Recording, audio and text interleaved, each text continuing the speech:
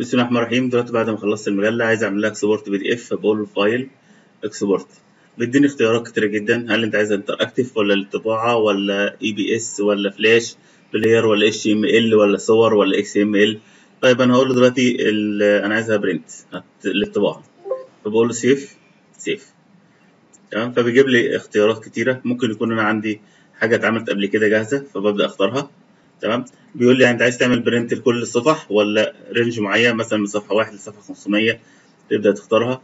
أعلى الاستطاعات عايز آه، تشوفها مثلا 100% 75% زي ما أنت عايز ال layout بتاعك هو ال default ولا عايز صفحة صفحة ولا عايزهم صفحتين قدام بعض زي ما إحنا عاملينها. طيب آه، هل يعمل embed لصور مصغرة لكل صفحة؟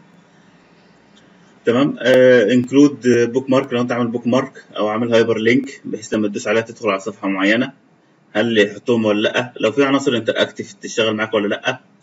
آه، عايز تضغط الصور بمقدار قد إيه تمام؟ أنت بتعمل print مرة PDF وتشوف هل في صور ضربت مين معاك أو محتاجة إن هي تتظبط.